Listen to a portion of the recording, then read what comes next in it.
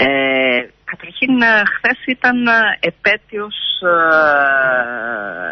της πιο μεγάλης αγωνιστικής ε, παρακαταθήκης της μεταπολίτευσης του 62% ε, που έδωσε ο ελληνικός λαός ε, ορθώνοντας ένα όχι σε ό,τι ακριβώς ακολούθησε ε, δυστυχώς ε, και μάλιστα σε συνθήκες κλειστών τραπεζών οι οποίες είναι μοναδικές στην ιστορία του κόσμου.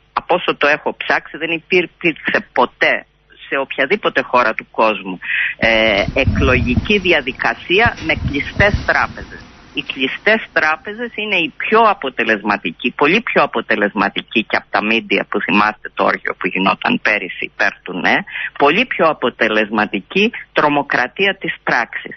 Και ήθελα γι' αυτό να θυμηθούμε λίγο τον ρόλο της ε, Ευρωπαϊκής Κεντρικής Τράπεζας, της ΕΚΤ, για τις κλειστές τράπεζες η οποία κυριολεκτικά τράβηξε το χαλί κάτω από τα πόδια κόβοντας ε, τον έλα και υποχρεώνοντας το να κλείσουν οι τράπεζες γιατί σήμερα όλοι μιλούν με τα καλύτερα λόγια. Όμως ο Ντράγκη ήταν αριστουργηματικός σε συνεργασία με τους Γερμανούς που κατά τα άλλα βρίσκεται υποτίθεται σε ανταγωνισμό για το θέμα της ε, ποσοτικής νομισματικής ε, πολιτικής ε, στην Ευρωζώνη από την αρχή, από το Φεβρουάριο με αποκορύφωμα αυτό που έγινε ε, τον τέλος Ιουνίου. Μάλιστα. Ωστόσο, ωστόσο, εγώ άφησα πνευστή να το πείτε αυτό, ωστόσο, αφού ξεκινάτε από εκεί, ένα χρόνο μετά κυρία Βαλαβάνη, ε, στελέχη πρώτης γραμμής, πολιτικά στελέχη και υπουργοί που έπαιξαν καθοριστικό ρόλο ή δεν έπαιξαν καθοριστικό ρόλο, δεν μπόρεσαν να παίξουν. Ένα χρόνο μετά δεν έχουν κάνει μία αποτίμηση. Θα σας πω τι λέει πολλοί κόσμος. Δεν βγήκε ένα συμπέρασμα ότι ακόμη και το δημοψήφισμα τελικώς εργαλειοποιήθηκε από την κυβέρνηση για τους δικούς της σκοπούς και δεν είχε αυτό το βάθος που εσείς του δίνετε σήμερα και φτάσαμε σήμερα ένα χρόνο μετά με όλες αυτές τις αρνητικές επιπτώσεις με τα capital control που υπενθυμίσατε με επιχειρήσεις μικρές, μεσαίες και μεγάλες να κλείνουν με ανεργία, με ανάπτυξη που δεν υπάρχει όλα αυτά δεν είναι απότοκος όλης αυτής της ιστορίας Καταρχήν μετά το δημοψήφισμα δεν πρέπει να χρησιμοποιούμε καταρχήν ε, τον όρο κυβέρνηση. Ε, σαν μια ενιαία κυβέρνηση. Διό, θα σας θυμίσω ότι, ε, όχι μετά το δημοψήφισμα, μετά τη μεταστροφή μετά το δημοψήφισμα, μια εβδομάδα αργότερα δηλαδή. Θα σας θυμίσω ότι ε, δύο ώρες μετά την ανακοίνωση της τελικής συμφωνίας της 13ης Ιουλίου, η οποία οδήγησε ε, στο ε, τρίτο μνημόνιο τον Αύγουστο και ενώ ακόμα δεν είχαν επιστρέψει και ήταν άδειο το Μέγαρο Μαξίμ, υπήρχε μόνο η Φρουρά και μια γραμματέας, πήγα και παρέδωσα την παρέτησή μου. Άρα ε, δεν θεωρώ τον εαυτό μου μέρος της κυβέρνησης η οποία χειρίστηκε από εκεί και πέρα. Και μια πολύ μεγάλη ομάδα υπουργών και βέβαια βουλευτών στη συνέχεια έκαναν το ίδιο μέσα στα επόμενα 24 ώρα. Είναι η ομάδα η οποία δημιούργησε ε, τη λαϊκή ενότητα μαζί βέβαια και ένα μέρος ε, κινημάτων και πολιτικών οργανώσεων της εξοκοινοβουλευτικής αριστεράς στη συνέχεια. Άρα δεν μπορούμε να μιλάμε για την κυβέρνηση πριν ε, τη 13η Ιουλίου και την κυβέρνηση μετά με τον ίδιο τρόπο. Ε, την 13η Ιουλίου έληξε αυτή η άνοιξη των έξι μηνών που ήταν μια άνοιξη μεγάλων προσδοκιών, μεγάλων ελπίδων και δυνατοτήτων που διασπαθίστηκαν κυριολεκτικά από εμπλοκής της χώρας από αυτή την ταφόπλακα που την οδηγεί.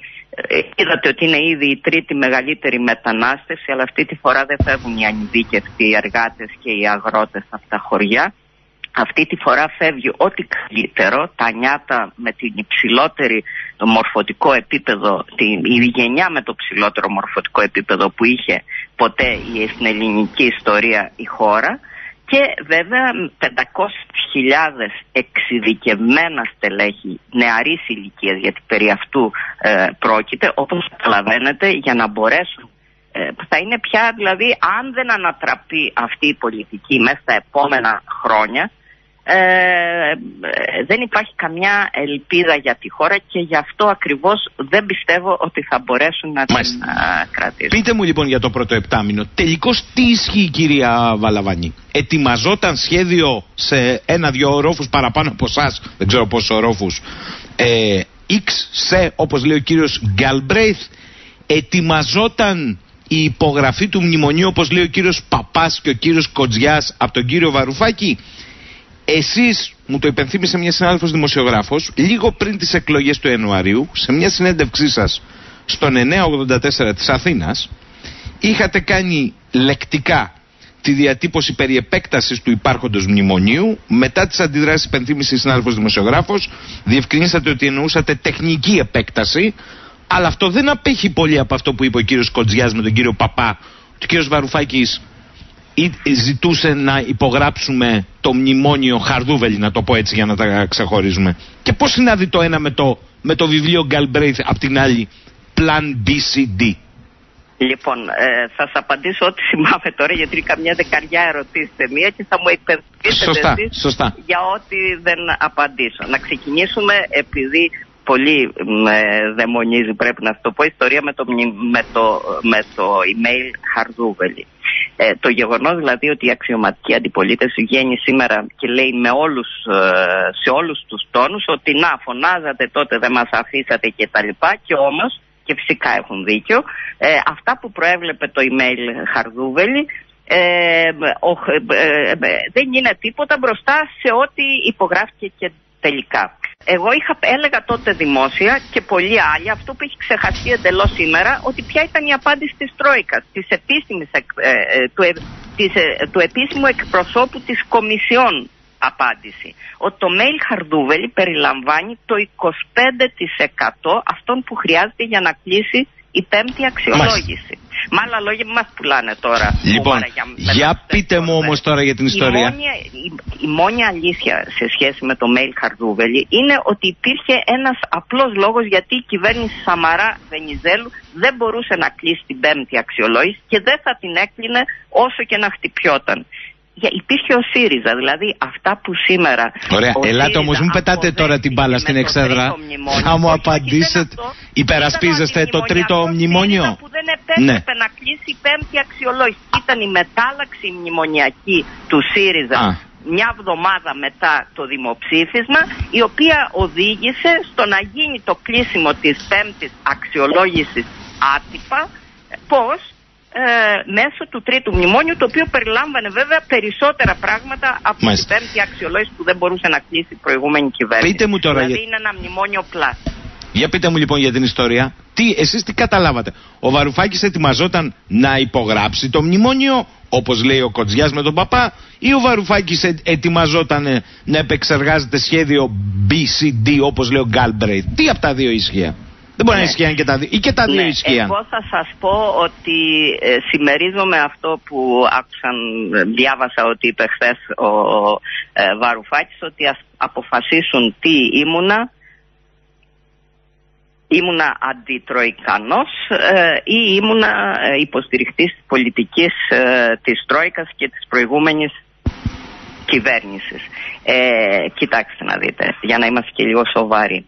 Ε, μέσα στο Υπουργικό Συμβούλιο και μέσα στις συνεδριάσεις του Κυβερνητικού Συμβούλιου στις οποίες κάποιες από αυτές με προσκαλούσαν, τις οποίες παρακολούθησα ε, δεν μπήκε ποτέ θέμα συνέχισης με οποιοδήποτε τρόπο του, του ε, προηγούμενου μνημονίου. Αν γίνανε κάποιες συζητήσεις προσωπικά, με, με άλλους υπουργούς, με τον Αλέξη τον Τζίπρα και τα λοιπά, αυτές δεν τις έχω υπόψη μου. Ναι, αλλά εσείς πώς είχατε πει στο 1984 για επέκταση του μνημονίου και μετά ε, σπεύσατε. Τότε, αν ναι, ναι. θυμάστε, όχι δεν έσπευσα, αυτό ήταν από την αρχή κατά. Όχι, ε, όχι λέω σπεύσατε να το διευκρινίσετε κιόλας ότι εννοούσατε ναι, τεχνική επέκταση. Ναι, ουσιαστικά επανέλαβα αυτό που είχα πει από την αρχή, γιατί το ερώτημα έμπαινε τότε.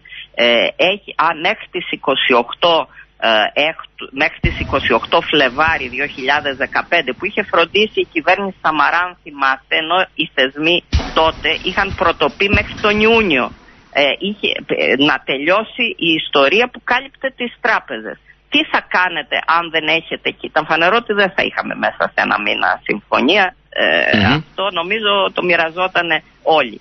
Τι θα κάνετε ώστε να μην σταματήσει ο ΕΛΑ ε, τι θα μπορούσε να γίνει πραγματικά τότε; Δύο πράγματα. Το ένα θα ήταν να βγεις από την Ευρωζώνη οπότε δεν χρειάζεσαι έλα με όλο το αυτό που δεν νομίζω ότι ε, είχε εκλεγεί με ένα τέτοιο πρόγραμμα. Θα σας πω με τι πρόγραμμα είχε εκλεγεί και τι συνέπειες είχαν αυτά με αυτά που λέει ο Γκαλμπρέιτ σήμερα ε, η κυβέρνηση του ΣΥΡΙΖΑ ή τεχνικά καθαρά, δηλαδή για να μπορεί να υπάρξει ο ΕΛΑ και να μην έχουμε αναγκαστικά στάση πληρωμών και αποχώρηση από την Ευρωζώνη, τεχνική επέκταση του μνημόνιου. Αυτό έγινε στην πράξη.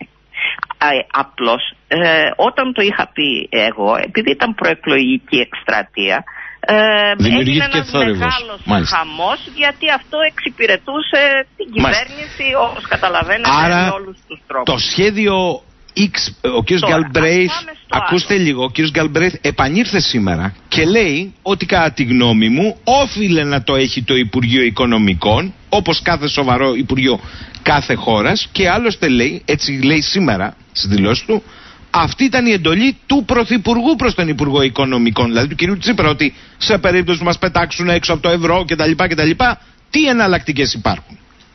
Λοιπόν, ας βάλουμε τα πράγματα. Εσείς το είχατε ακούσει αυτό ότι γινότανε; Α βάλουμε τα πράγματα ναι. σε για να σας πω ακριβώς από πού ξεκινήσαμε. Θέλω και, την προσωπική σας μαρτυρία. Κληθήκατε, ειδοποιη... ειδοποιηθήκατε, σας είπανε; Ναι, ναι. Ό,τι ξέρω. Ό,τι ξέρω προσωπικά. Εγώ εξάλλου δεν συνηθίζω να κάνω χωρίς να έχω στοιχεία αξιολογήσεις.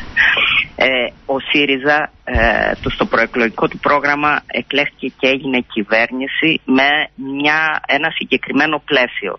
Ε, θα επιδιώξουμε ε, συμφωνία απεμπλοκής της χώρας από τα μνημόνια, τη λιτότητα, το, ε, το χρέος και όλα αυτά τα οποία συνεπάγεται τα μνημόνια εντός Ευρωζώνης.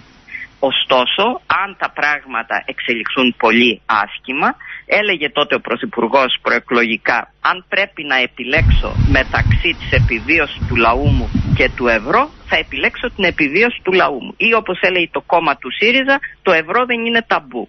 Μόλις εκλεγήκαμε από τη δημόσια απεύθυνση της κυβέρνησης, έφυγε αυτό το κομμάτι. Δηλαδή, σταμάτησε να λέει αλλά αν και τα λοιπά και έμπαινε συμφωνία απεμπλοκής εντός Ευρωζώνης τελεία. Αυτό είχε ολέθρια αποτελέσματα.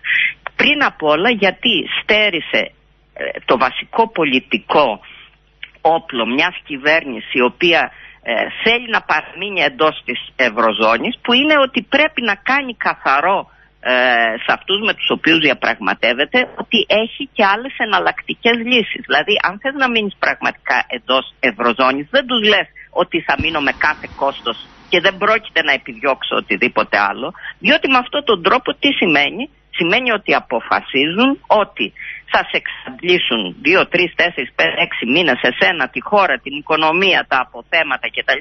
Και μετά θα αποδεχτείς ό,τι σου δώσουν, δηλαδή θα κάνεις μια φοβερή στρατηγική ε, συνθηκολόγηση, κατάρρευση, πέστε το. Το βλέπατε, δεν το παίζατε όμως, δεν φταίμε εμείς. Τη ναι. στροφή που έγινε. Αυτό ήταν από πολιτική άποψη πολύ άσχημο. Τι έγινε, όχι δημόσια, αυτός προς τη δημόσια απεύθυνση. Ως προς τη δημόσια απεύθυνση, έγιναν πολλές προσπάθειες, όχι το 6, το Z ή το B, πολλές προσπάθειες προς διάφορες κατευθύνσεις, οι οποίες δεν εκ, ε, ε, πήγαζαν από συγκεκριμένα κέντρα, δηλαδή δεν ήταν ομάδες μέσα στην κυβέρνηση που τα διακινούσαν, αλλά ήταν γραμμή της κυβέρνησης αυτό, ανεπίσημη γραμμή της κυβέρνησης. Να μπορέσουν να υπάρξουν εναλλακτικά σχέδια αν υπάρξει αποφράδα μέρα που θα είμαστε με την πλάτη στον τοίχο. Κανένα από αυτά δεν ολοκληρώθηκε. Και δεν θα μπορούσε να ολοκληρωθεί. Δεν θα μπορούσε να ολοκληρωθεί για δύο λόγους. Πρώτον, επειδή αν ψάχνεις, ας πούμε, χρηματοδότηση από άλλες χώρες κτλ. Ενώ δημόσια εσύ λες εντός Ευρωζώνης τελεία, όσο και να έχει προχωρήσει η συζήτηση μαζί τους, δεν μπορεί να καταλήξει όσο εσύ λες αποκλειστικά έτσι. Διότι γιατί αυτοί να βάλουν σε κίνδυνο τις εμπορικές οικονομικές τους σχέσεις με την Ευρωζώνη, με την Ευρωπαϊκή Ένωση κτλ. για να σε βοηθήσουν εσένα, αν δεν είναι σίγουροι ότι θα το κάνεις. Δεύτερο και κυριότερο ίσως. Πώς θα στηριχτείς στο λαό μέσα σε μερικά 24 ώρα βγάζοντας από το μανίκι σαν λαγό ένα σχέδιο X, Y, Z για το οποίο του λες μέχρι εκείνη τη στιγμή ότι δεν υπάρχει καμιά προοπτική, τι είναι ο λαός για να σε ακολουθήσει; Με το στρατό λέει ο κύριος Γκάλμπρεθ. Ακούσατε; Άνθρωποι. ναι, έχετε δίκιο εσείς. Αλλά ο κύριος Γκάλμπρεθ λέει μέχρι και το στρατό θα βγάζαν. Κοιτάξτε, ε, εγώ διάβασα. Mm, το διάβασα. Τα, διάβασα τα αποσπάσματα. Τα είχατε ακούσει εσείς αυτά; Στη δημοσιότητα. Τα είχατε ακούσει αυτά; Τότε που, που ήσασταν στην κυβέρνηση ή βάζατε εσείς το κινητό σας μέσα σε ψυγείο; Γιατί αυτά λέει ο κύριος Γκάλμπρέιθ. Κοιτάξτε, να σας πω για το κινητό στο ψυγείο γιατί μου κάνει πολύ μεγάλη εντύπωση το σοκ το οποίο προκαλεί όταν σε όλους ε, σε, σε, όλους, σε, σε όλες τις συζητήσεις που γίνονται ξεκινώντας από το Υπουργικό Συμβούλιο. Έτσι γινόταν τότε έτσι γίνονται, γίνεται και τώρα από ό,τι ξέρω. Οι Υπουργοί αφήνουν έξω τα κινητά τους γιατί τα αφήνουν έξω στους άντρες ε, της αστυνομίας; Το αντίστοιχο σε μια ξένη χώρα σε ένα δωμάτιο ξενοδοχείου υποθέτω ότι είναι το ψυγείο. Δεν μου έχει ξανατύχει, δεν το έχω ξανακούσει, αλλά είναι το ίδιο πρακτικά. Γιατί τα κινητά είναι ταυτόχρονα πομπή και δέκτες. Μέσα από τα κινητά οποιαδήποτε υπηρεσία διαθέτει λίγο προηγμένη τεχνολογία μπορεί να παρακολουθήσει όλες τις συζητήσεις οι οποίες γίνονται. Όταν λοιπόν είναι συζητήσεις για τις οποίες κρατιούνται ή δεν κρατιούνται πρακτικά τα οποία ε, για το λαό σου δηλαδή, πολύ περισσότερο δεν θες αυτά να δημοσιοποιηθούν στις διάφορες ξένες κυβερνήσεις, θεσμούς, διαβόλους, τριβόλους, οι οποίες μπορεί είναι στοιχειώδες μέσω ε, περιφρούρησης. Στα γραφεία των Υπουργών να ξέρετε ότι υπάρχει ένα μηχάνημα απενεργοποίησης των κινητών. Υπήρχε και στο δικό μου γραφείο, μου το έδειξαν όταν πρώτο μπήκα, διαπίστωσα ότι δεν λειτουργούσε, ήταν χαλασμένο. Άρα, άρα όταν θες να συζητήσεις κάτι με σοβαρότητα, λες παρακαλώ αφήστε στη γραμματεία τα κινητά σας. Έτσι γίνεται. Αυτό το λέω για να απομυθοποιήσουμε όλο αυτό το φοβερό πράγμα. Πείτε... Ναι, ναι. Επειδή ε, πιέζει ο χρόνος, πείτε μου σας ναι. παρακαλώ λοιπόν, εσείς ήσασταν κοινωνός τέτοιων σχεδίων, συζητήσεων; Κοιτάξτε να δείτε. Ε, ανάλογα με το τι κάνεις, ε, παίρνεις και τα μέτρα τα οποία θα το στηρίξουν. Όταν ε, από τα πρώτα μέτρα που πήραμε για το capital control σε συνεργασία με τη Γενική Γραμματεία, ε, Γραμματέα Δημοσίων Εσόδων, γιατί ήδη οι εφορίες υπάγονταν, όχι σε μένα, όχι στον Υπουργό Οικονομικών, στη Γενική Γραμματεία Δημοσίων Εσόδων και τα τελωνία. Ήταν από 250 ευρώ αν θυμάμαι καλά που επιτρεπόταν να γίνει η δοσοληψία ε, με μετρητά να το ανεβάσουμε στις 50 ή 100.000 ευρώ γιατί αλλιώς δεν μπορούσαν τα πετρελαιοειδή να, να, ε, ε, διακινηθούν, ναι, ναι. να διακινηθούν και να πάνε στα νησιά και τα λοιπά και θα υπήρχε φοβερό πρόβλημα από τις πρώτες μέρες στο Capital Control. Ε, μόλις το κάναμε αυτό πήρα τηλέφωνο το γαδάρχη και του ζήτησα να υπάρξει προστασία στα τελωνία του είπα πόσα είναι σε όλη τη χώρα, τι πρέπει να γίνουν και ο άνθρωπος μου είπε ότι θα κάνουν ό,τι μπορούν. Το ίδιο γινόταν με τις τράπεζες, αν θυμάστε, τις πρώτες μέρες του Capital Control. Γιατί κανένας δεν ήξερε τι μπορεί να συμβεί. Ε, σας θυμίζω λοιπόν, σας λέω δηλαδή ότι ανάλογα με το τι πολιτική ακολουθείς παίρνεις και μέτρα αντίστοιχα. Το πιο προχωρημένο που εγώ άκουσα να συζητιέται μέσα στο Υπουργικό Συμβούλιο ήταν ότι υπουργός ο οποίος δεν είχε ποτέ καμιά σχέση με ευρώ, εξόδους ε, και τα λοιπά, είχε διαβεβαιώσει ότι αν βρεθούμε με την πλάτη στον τοίχο, αυτά μιλάω για τέλος Ιουνίου, υπάρχει επάρκεια πρώτον τροφίμων, δεύτερον για αρκετούς μήνες ε, ενέργειας και τρίτον ενός σοβαρού τμήματος αλλά όχι όλων των φαρμάκων που μπορούν να κρατήσουν την Ελλάδα για κάποιους μήνες. Αυτό θα έπρεπε κανένας να το πάρει ίσως στα σοβαρά. Κάτι για το βαρουφάκι πριν κλείσουμε γιατί νομίζω ναι, ναι. Ε, του οφείλεται. Ε, υπάρχουν δύο διαφορετικά ζητήματα. Ο Βαρουφάκης δεν ήταν ποτέ και από την τοποθετήση του μέσα στα όργανα που παρακολούθησα και από ό,τι κουβέντες έκανα μαζί του υπέρ της εξόδου από την Ευρωζώνη. Αυτό που επιχειρούσε να κάνει ήταν ένα παράλληλο νόμισμα. Μα είναι ο μόνος που υπέγραψε και το μνημόνιο το Φλεβάρι. Υποσχετικό, Ναι. Ηλεκτρονικό, υποσχετικό, υποσχετικές δηλαδή τα IOU που θα ήταν ουσιαστικά ευρώ, αλλά ευρώ όχι με τη μορφή της νομισματικής κυκλοφορίας που ξέρουμε, αλλά με παράλληλες μορφές που δεν συνηθιζόταν έτσι ώστε να αυξηθεί η νομισματική κυκλοφορία, γιατί αυτό ήταν και το κύριο ζήτημα. Ο Γκαλμπρέις εδώ βάζει μια διάσταση ενός σχεδίου που πάει πέρα από αυτό. Αυτό το πρώτο κομμάτι που σας λέω ήταν φανερό γιατί γινόταν συζητήσεις στην κυβέρνηση κτλ. Για μια τέτοια προοπτική αν υπάρξουν δυσκολίες. Βάζει ε, θέμα μιας επιστημονικής άσκησης, έτσι το ονομάζει τα αποσπάσματα που διάβασα, ε, η οποία θα ήταν για αποχώρηση από την Ευρωζώνη. Και λέει αυτό που είπε χθες ο Βαρουφάκης και νομίζω έχει δίκιο σε αυτό ότι κάθε Υπουργείο πρέπει να είναι έτοιμο ε, ένα Υπουργείο Εθνικής Άμυνας για πόλεμο χωρίς αυτό να σημαίνει ότι πρόκειται να διεξάγει πόλεμο. Αυτό που φαίνεται, εφόσον αυτά που λέει και δεν έχω λόγο να το αμφισβητήσω, ο Γκαλμπρέιθ είναι έτσι, δηλαδή ότι ήταν ένα σχέδιο που έφευγε έξω από μια αύξηση με μη συμβατικά μέσα της κυκλοφορίας που θα είχε βέβαια πολλά νομικά προβλήματα. Δεν επιτρέπεται κανονικά να τα κάνεις αυτά με το ευρώ, δηλαδή να βγάλεις τι υποσχετικές. Ε, πρέπει να ε, κλείσω, κυρία Βαλαβάνη. Πρέπει να κλείσω. Έχουν ναι. ενδιαφέρον αυτά που λέτε, αλλά πρέπει να κλείσω. Ε, άρα λέτε ότι στο μέτρο των αντιλήψεων και των συζητήσεων, αλλά ω σχέδια. Η τελική απόφαση, λέτε ούτως ή άλλως, ήταν μετά το δημοψήφισμα η μεταστροφή και η πλήρη ε, αποδοχή και ενσωμάτωση στη λογική ενός τρίτου μνημονίου. Άρα οι πράξεις και τα αποτελέσματα είναι αυτά που δίνουν και το νόημα στα αντίστοιχα σενάρια ή σχέδια.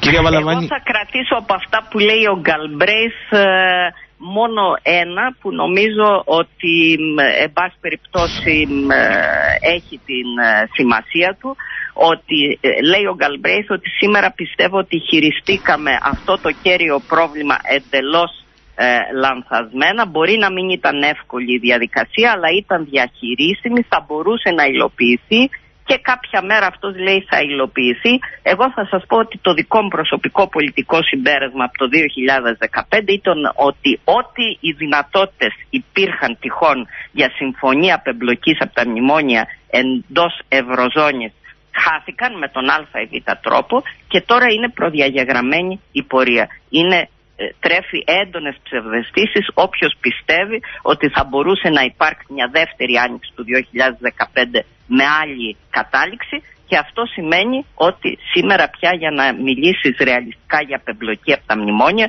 πρέπει να μιλήσεις επίσης για απεμπλοκή από την Ευρωζώνη και αυτό μόνο του δεν φτάνει. Η νομισματική κυριαρχία δεν είναι προοδευτικό μέτρο κατά ανάγκη. Σημαίνει ανάκτηση κρατικής κυριαρχίας, που αυτή τη στιγμή δεν υπάρχει πρακτικά. Έχει μια κυβέρνηση που δεν κυβερνά και μια βουλή. Κυρία Βαλαμανή, λυπάμαι που θα σας κόψω, δεν σας κόβω. Προοδευτικό, ριζοσπαστικό, οικονομικό πρόγραμμα πρόγραμμα παραγωγικής ανασυγκρότησης της χώρας.